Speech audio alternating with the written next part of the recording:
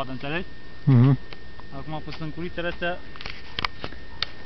s-ar putea, putea să fie aerian.